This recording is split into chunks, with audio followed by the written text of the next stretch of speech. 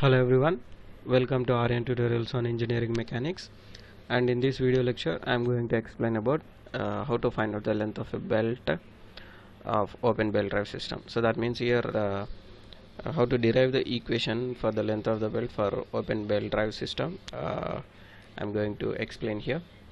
So first uh, uh, we take the example of open belt drive system okay so with the help of this figure by assuming certain elements we can find the length of this entire belt which is uh, mounted over the two pulleys we can find. Uh, we can give the expression for finding the length of the belt here. So for that first uh, try to assume the two centers of the pulleys or shaft as O1 O2 and similarly try to assume the radius of first pulley as R1 and the radius of the second pulley is R2 and uh, one more thing here so whenever we have uh, mounted uh, whenever we mount the belt over the pulley so this pulley will be uh, touching the uh, sorry this belt will be touching the pulley and it will be leaving at a particular point over the surface of the pulley. So that is the leaving point here we try to assume uh, as uh, E here above and below we try to assume G. That means the when you are mounting mounting the belt over the pulley the two points of leaving the belt over the pulley is E and G. And similarly in the same fashion here also uh, the contact point of the pulley. So where it is coming in contact with the pulley 2 that is pulley B here we try to assume here F and H. Here the diagram is not properly showing but here the actual contact point of the belt initially here it takes place uh, after the center here okay here also after the center. So like that uh, we can assume F and H are the contact points of the belt whenever we mount the belt over the pulley here. And similarly we try to assume the extreme points of the pulley that is the first pulley as J and the second pulley as K here two extremes. Okay uh, this assumption is useful for uh, finding the arc length of the belt. So belt is in the form of the arc here. So for finding that we are giving such names like J and K for the extreme points of the belt over the pulleys here. And similarly try to construct a perpendicular line from the O2 center uh, to the O1E and assume the point as M okay? So then the angle becomes here. So before the angle uh, try to assume the central distance between the two pulleys as L and then the alpha assume the angle is alpha in between the perpendicular line that is O2M and the uh, line which is passing through the centers of the two pulleys that is the horizontal line assume. And uh, again based upon the perpendicular lines theorem here for this uh, O1E and this line vertical line from the center the angle becomes alpha here. And similar fashion here also according to the perpendicular lines theorem again here uh, the angle between this vertical line through the center and the O1F becomes the same alpha. Okay when you uh, uh, why I am saying this is perpendicular theorem means here whatever the alpha is an angle between the O2M and O1O2 these two will be perpendicular to the O1E and this uh, vertical line from O1 respectively. So based upon that we can say the same angle will be maintained for O1E and this vertical line through the center in the similar fashion here also O2F and the vertical line through the center maintains the same angle of alpha here. Okay so these are the assumptions required or the elements required to, to give an expression for the length of the open belt drive system here. Okay next we try to uh, write a normal basic uh, expression uh, for the length of the belt. So length of the belt is equal to we can write it as uh, initially we can take the length of the arc here as GJE the length of GJE plus the length of EF length of EF plus similarly length of the another arc which is uh, from starting point of the contact to the uh, ending point of the contact here FKH we can assume here. So we can write it as FKH and plus the remaining length is HG HG we can write. Okay? So when you keenly observe this diagram so here try carefully observe. This JE JE arc length can be equal to the JG so automatically we can write it as the GJE length as 2 into JE we can write it as because this JE and J, J, JG both are equal length of the arcs. So we can write it as either 2 into JE or 2 into JG so in place of GJE we can write it as 2 into JE and plus in the same way what are the EF length maintaining the belt over the pulley the same length will be maintained for the GH also. So in place of EF and HG we can write it as 2 into EF or 2 into HG we can write okay? And plus in place of FKH again this is also arc over the second pulley here okay? So whatever the FK arc length is maintaining that length will be equal to the KH so automatically we can write it as 2 into FK or 2 into KH so that again can be written as 2 into FK okay then uh, from this equation L is equal to we can write it as capital L which is the length of the belt by taking the 2 as common. 2 of JE plus EF plus FK we can write it as. Okay so this is the basic expression in which we need to find out the length of JE, EF and FK in terms of known elements like radius and uh, in terms of radius in terms of radius we need to derive the equation here. Okay? Radius and the central distance between the two rollers. Okay? These uh, two elements will be known elements while whenever we solve the problems related to uh, length of the belt drive here. Okay? So first we try to write JE is equal to JE arc length. So arc length basically length of the chord or arc we can write it as radius into the angle between the arc okay two extreme points of the arc. Okay so here radius as it is we can address r1 okay into angle. So what is the angle we need to assume for the arc? JE okay here this is the vertical line and JE J JO1 is horizontal line. So automatically this will be 90 okay plus the remaining angle is alpha.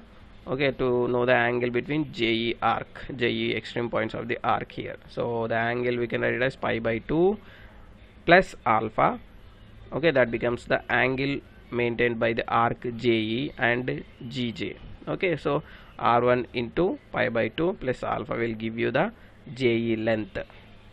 Okay and next similarly we need to write the equation for uh, uh, FK okay so this is the JE arc we have written. Next similarly we try to write the length of the FK here. So the FK is also same radius into angle. So the radius is r2 into and uh, angle is here. Here the angle between vertical line and this horizontal line is 90 but f is lying after the vertical line means we need to subtract the alpha. So when you subtract the alpha from 90 degrees you will get the required angle in between this uh, o2f and o2k okay so for finding the arc of fk okay so then we can write it as pi by 2 minus alpha. We can write it as for fk equation. Okay and similarly the remaining element is ef the length of ef is equal to we can write it as this ef so by going through the figure we can say that this ef is parallel to o2m so whatever the length maintained by the o2m that is the perpendicular line to the o1e can be equal to the length of ef so from the right angle triangle of o1 o2m we can write the uh, o2m length. So that o2m length here this one is uh, uh, adjacent here. So this adjacent length can be written as here ef is equal to o2m initially we can write the o2m so that o2m is equal to uh, from the pythagoras rule we can write it as uh, this adjacent length o2m is equal to uh, hyper square root of hypotenuse uh, square minus this o1 m square. Okay this o1 o2 hypotenuse is here o1 o2 for this right angle triangle. So square root of we can write it as hyper distance between the two centers is the l here. So l square minus we can write it as this o1 m distance. So what is this o1 m distance again here? When you carefully observe this o1 e is the r1 and when you have drawn a perpendicular line to uh, o, o1 o1 e so this line is parallel to this ef line. So this is r2 here. O2f is r2 so similarly em is also r2 okay. So then we can write it as o1m is equal to r1 minus r2 similarly we can write it as r1 minus r2 whole square. We can write it as for ef or o2m is equal to. From the pythagoras rule we have written o square root of o1 o2 o1 o2 whole square minus o1m whole square. So o1 o2 means l o1m means here r1 minus r2 okay? So these are the equations uh, we get uh, for uh, giving the proper expression. Okay? So this uh, equation again we can expand. So all these equations keep aside. And this ef again further we can modify in the form like by uh, uh, enlarging or uh, developing this equation by binomial theorem. Okay from binomial theorem we can write it as uh, ef is equal to l into my 1 minus half into r1 minus r2 by l whole square plus and so on. We can write from the binomial theorem so when you keenly observe when the equation is going on increasing the values of the terms will be becoming very small so that we can neglect them. So approximately this ef can be written as l into 1 minus uh, half of these two terms we can write we can consider half of r1 minus r2 by l whole square we can consider. Okay so now approximately ef is equal to we'll get this equation.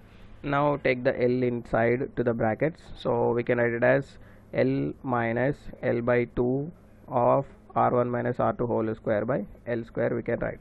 Okay so this 1 l gets cancelled from the uh, l square. So finally we can write the equation as uh, l minus uh, r1 minus r2 whole square by 2l we can write the equation. Okay this is the final modified equation for ef okay so this equation we have to use to derive an expression for the length of the belt. So this equation also keep aside. Okay.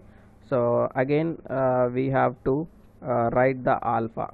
Okay. So the alpha should be also in terms of radius only known values known terms. So for finding the alpha from the right angle triangle same o1 to m we can write sine alpha is equal to so what is the formula? Sine alpha is equal to opponent by hypotenuse. Here opponent is o1 m and hypotenuse is o1 o2 then o1m is equal to already we know o1m is r1 minus r2 so r1 minus r2 divided by o1 o2 is the distance which is l. Okay? So this is the equation. So when you compare this uh, very small value so automatically this alpha can be equal to r1 minus r2 by l. We can write it as. Okay? So approximately alpha approximately equal to r1 minus r2 by l because of the smallest value of sine alpha we can consider alpha is equal to r1 minus r2 by l in radians. Okay? So this equation also keep aside alpha is equal to okay? This equation again we have to use to derive an expression. So now finally come to the required formula which is 2 into je plus ef plus fk so now substitute all the terms we got uh, by analyzing this diagram geometrical diagram geometry of the figure. So 2e into je means we have to write r1 into pi by 2 plus alpha and similarly plus ef means uh, r2 in sorry uh, ef means here uh, l minus r1 minus r2 square whole square by 2l and plus fk means here we have to write r2 of pi by 2 minus alpha. Okay? So we have written all the terms in the basic equation so now try to modify this equation so now take the elements into the brackets. 2 of when you take the r1 inside you'll get r1 pi by 2 plus r1 alpha. And similarly plus as it is right down there is no multiplier for this term that is uh, ef here. So write it as as it is. And next plus uh, take the r2 inside here. So r2 uh, pi by 2 uh, minus r2 alpha we can write. Okay? So the same step i am going to produce in the next slide. Okay? Okay this is the step we got uh, by taking the terms inside of the brackets. So now try to make the pi as common. So take the pi as common 2 of sorry uh, before that uh, we can take the 2 also inside. So when you take the 2 inside we can get the r2 r1 alpha plus 2l minus 2 into r1 minus r2 whole square by 2l plus uh, 2 into r2 pi by 2 minus 2r2 alpha. Okay? So try to cancel the similar terms 2 2 and 2 2 here and 2 2 here also. Okay? Then write the remaining terms as r1 pi. So directly take the pi as common otherwise.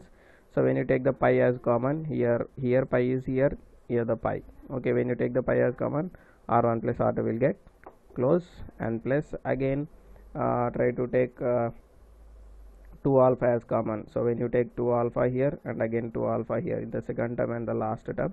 So when you take 2 alpha common we'll get r1 minus r2 and similarly we will get 2l plus the remaining term. When you cancel the 2 2 minus of r1 minus r2 whole square by L.